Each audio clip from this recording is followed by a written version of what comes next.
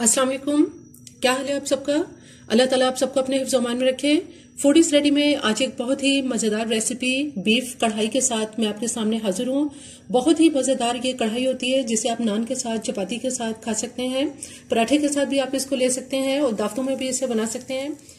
इससे पहले कि इसके इंग्रेडिएंट्स क्या है, मेरे चैनल को अगर आपने सब्सक्राइब नहीं किया तो मेरे चैनल को ज़रूर सब्सक्राइब कीजिए लाइक कीजिए और शेयर कीजिए। आइए चलते हैं बीफ कढ़ाई के इंग्रेडिएंट्स की तरफ़। बीफ कढ़ाई बनाने के लिए। यहाँ हमारे पास बीफ है, जो कि ये हड्डी के बगैर मैंने लिया है। ये आधा किलो गोश्त है। इसमें तीन दरमियानी साइज़ की प्याज है, जिनको बहुत ही फाइन चॉप कर लिया है।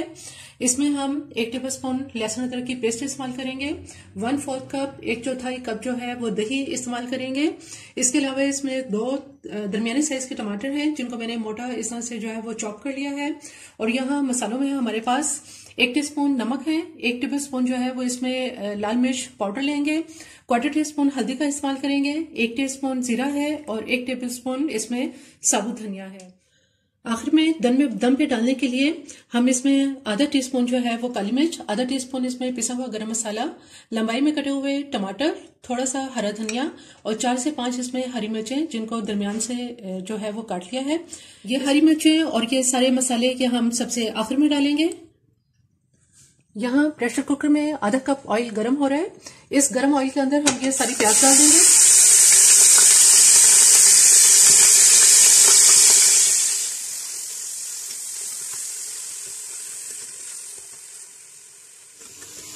प्याज को तकरीबन 10 मिनट तक भूनने के बाद इसके अंदर ये लाइट गोल्डन सा कलर आ चुका है।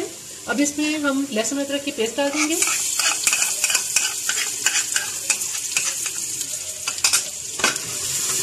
लहसुन अदरक की पेस्ट के साथ सिर्फ़ इसको मैं चंद सेकंड के लिए भूनूँगी। लहसुन अदरक को भूनने के बाद इसमें ये टमाटर डाल देंगे। और साथ ही इसमें ये सारे मसाले डाल देंगे। नमक, मिर्च, हल्दी, जीरा और साबुत धनिया।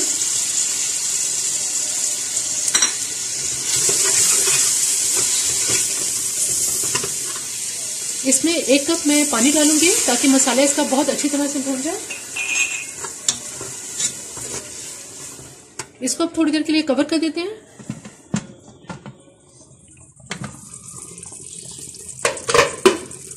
तकरीबन 10 मिनट तक मसाले को भूनने के बाद अब इसमें दही डाल देंगे। क्वार्टर कप दही डाल के इसको बहुत अच्छी तरह से इसको मजीद भून लेंगे।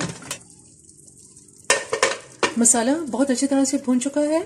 टमाटर भी सॉफ्ट हो गए हैं और दही का पानी भी खुश्क हो गया है। अब इसमें से ये मसाला मैं बाहर निकाल लूँगी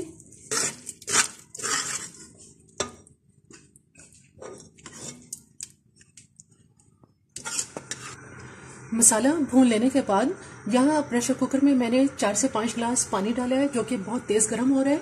इसमें हम ये सारा बीफ डाल देंगे। इसमें आधा टी स्पून नमक और थोड़े से लहसुन के जो है, ये पाँच छह जवे जो है, जो जिनको मैंने काट लिया है, ये डाल देंगे इसमें। और गोश्त को बॉईल कर लेंगे। अब मैं इसको कवर कर देती हूँ।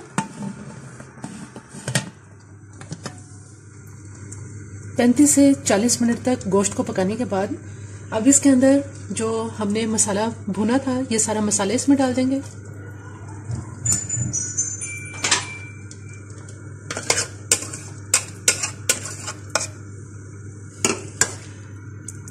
गोश्त इसमें मुकम्मल तौर पे अभी गला नहीं है। जो इसके अंदर पानी है, इसकी यखनी है, इसको मैं दोबारा कवर करूँगी और इसमें मसाले के साथ और पकाएँगे।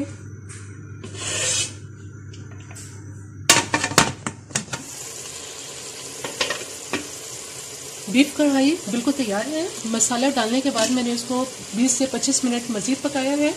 अब इसमें हम जो हरी मिर्चें और काली मिर्च, पिसा हुआ गरम मसाला इसके अंदर डाल देंगे और लंबाई में कटा हुआ टमाटर और थोड़ा सा हरा धनिया डाल देंगे। इसको मैं सिर्फ़ पाँच मिनट के लिए दम पे रखूँगी।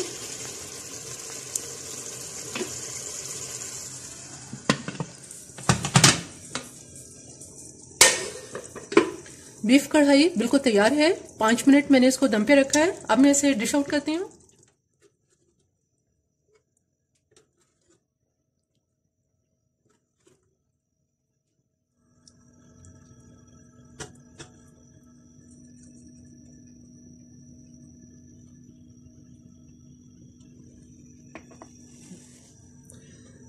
बीफ कढ़ाई बिल्कुल तैयार है। बहुत ही मज़ेदार और बहुत ही लजीज ये कढ़ाई तैयार होती है। मेरी ये रेसिपी आपको पसंद आए तो मेरे चैनल को ज़रूर सब्सक्राइब कीजिए लाइक कीजिए और शेयर कीजिए। सब्सक्राइब के साथ बेल आइकॉन को ज़रूर प्रेस करें। ऑल के ऑप्शन पे क्लिक करें ताकि हर आने वाली वीडियो का नोटिफिकेशन आपको मिल सके।